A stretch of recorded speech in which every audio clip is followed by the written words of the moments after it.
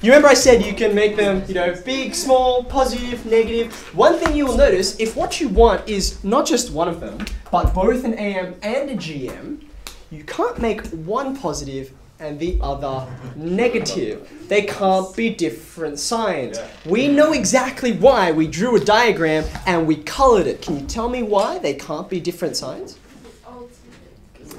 Either always positive, always negative. Good, good. So if they are different signs, right? One positive, one negative, one positive, or, or vice versa. Okay? If you're going to get an AM, no problem. Okay? That means you're at that transition point, right? Where the, the, the bless you, the series started, sequence started one way and it transitions to the other. That's fine. Okay? But you cannot possibly find a geometric mean. Right? At least not with the numbers we know about, okay? Because this alternating thing, this alternating thing, it has to have, like, if I'm gonna have a number that pops in in the middle, like, and I've got a negative and a positive, it can't be positive because then I'd have two positives in a row, and it can't be negative because then I'd have two negatives in a row. It's not gonna work, okay? So, here's my simple example. Now, I'm going to get you to, um, I hope you've worked out your AM and GM now. Uh, I want you to look at your two numbers. If you have some weirdo numbers, like um, like surds in there or something like that, I need you to find me a decimal for those. Because what we're about to do, what we're about to do is we're about to compare these two numbers together. And surds are famously difficult to compare to each other because you can't, you know, simplify them. So if you got some surds in there, um, like I almost did, please get me a decimal value. How many decimal places?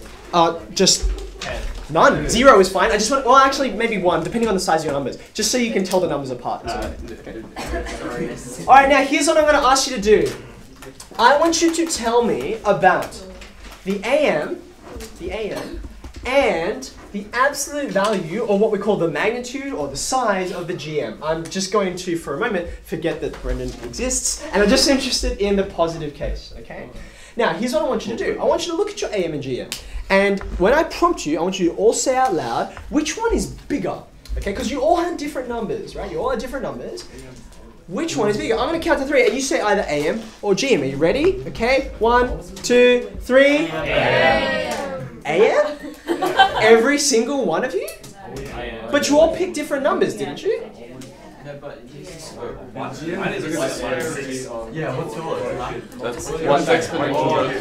Okay, now, what's going on here? What's going on here? Um, this is kind of the equivalent of if you, um, you know, in like junior school when you're first learning about the angle sum of a triangle, and you know, all-knowing person up the front says, okay, cut out a triangle for me, any triangle you like, different triangles, and then rip it into three pieces so you have the three angles, and then you reassemble it to make something like this. Do you remember these things? And it's like ripped paper, ripped paper, ripped paper. And you put your three angles together and magically they form a straight angle 180 degrees. Okay? Now you know why. You know why if you if you didn't do that, I'm sorry, you had a deprived childhood. Maybe we can um, but we can reenact it now. Okay? Um, you know why this always happens. And I know why this always happens. Okay? In fact, the AM is always greater than the GM, except for one case. They can be equal. I'll let you have a think. We'll get there in a second. I'll let you think about in what single case the AM and GM can be actually equal to each other. It's a bit weird, but for all intents and purposes, the AM is always bigger than the GM. Okay? This is called, this result is called, unimaginatively, it is called the AM GM inequality. Inequalities and proofs regarding inequalities are one of these harder three unit topics that we will address in, um, well, in next year. Uh, but this is so easy to grasp now. I'm going to show you in two ways that um, it would just be a crime to not show you. Okay. So, I need some more space. Um, would you please draw a circle for me? This um, this circle here, I have drawn a diameter in there. Um, we've been dealing with a, a pair of numbers each time, like an A and a B. And then I want a number in the middle, okay? So what I'm going to do is I'm going to take this diameter and I'm going to make an A and a B out of it. Now you can pick any point you like to divide up this diameter, and if I make a, a circle of arbitrary size, I can make A and B as large or as small as I like, okay?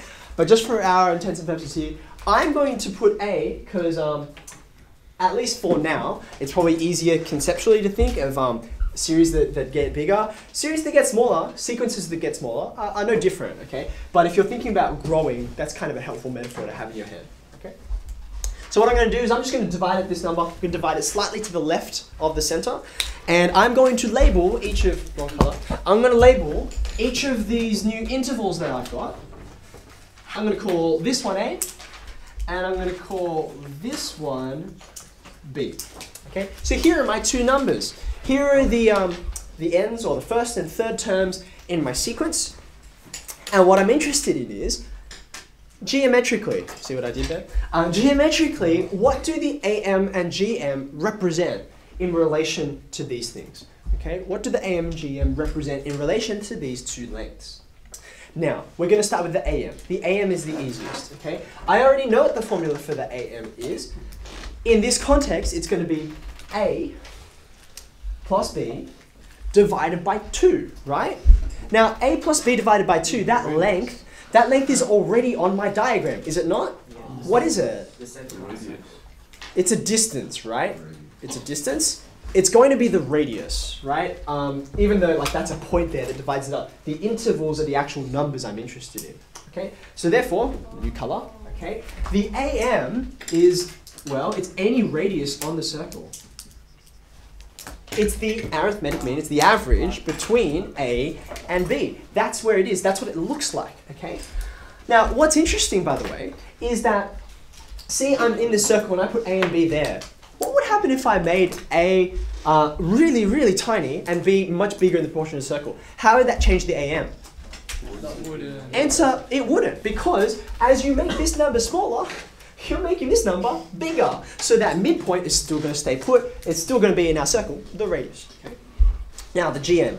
GM's a bit harder to see. I'm going to give you a construction that doesn't look very intuitive, like why on earth are you doing that? But it'll come out why.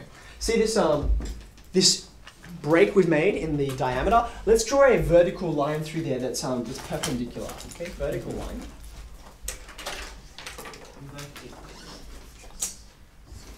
Now, it's very important that it's vertical, or more importantly, that it's um, a right angle.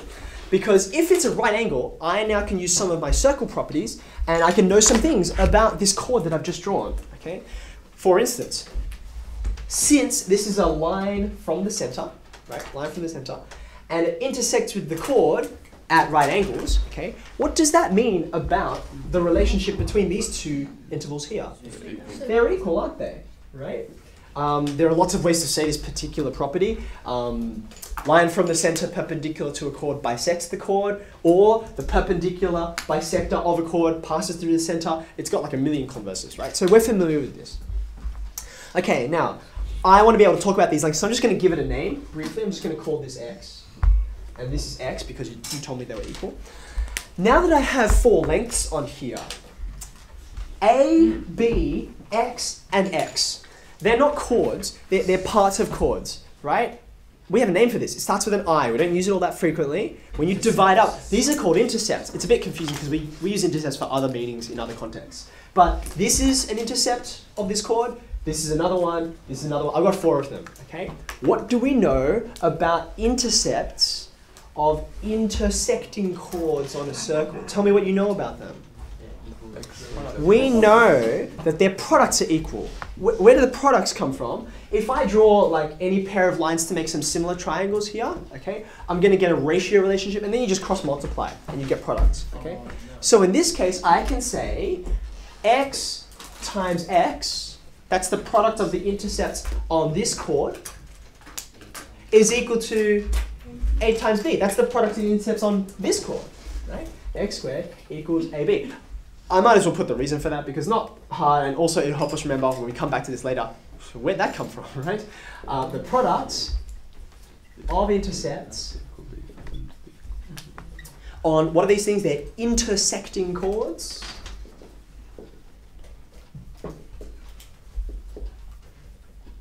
Um, those two products, they're going to be identical in value.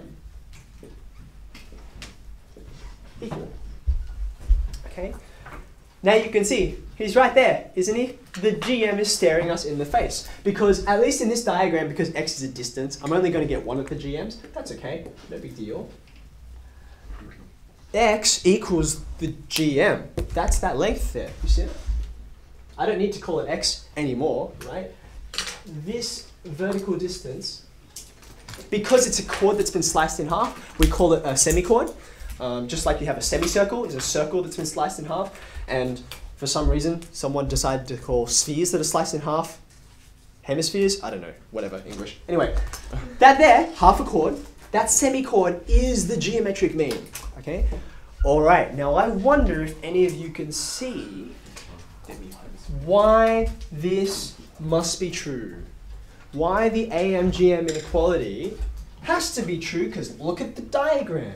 Is it popping out at you?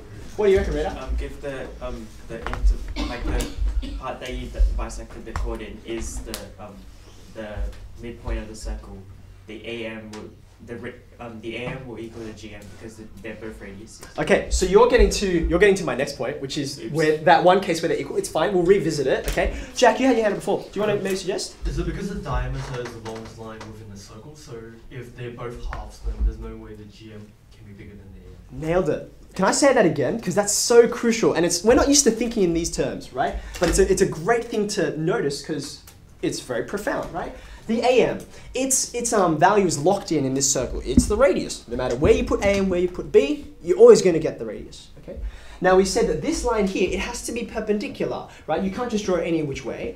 Um, it's perpendicular here. Now what happens as I move A and B, as I move that point?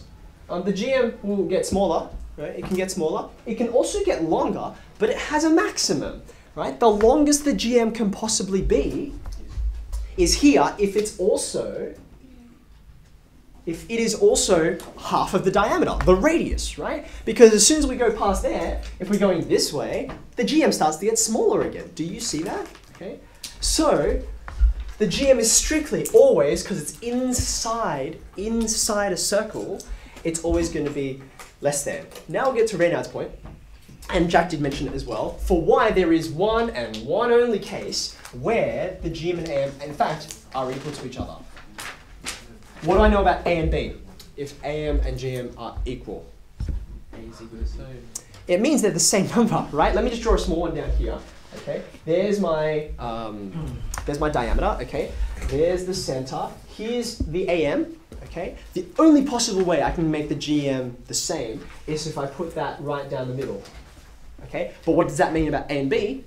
A and B are also the radius. So, for instance, if you have a series like oh I don't know, Ten ten. 10 10 okay the mean between those two arithmetically is 20 divided by 2 which is 10 or geometrically 10 times 10 which is 100 take the square root still 10 not particularly interesting which is why the most important thing about this is that the am is pretty much in all the interesting places bigger than the gm okay? You happy with that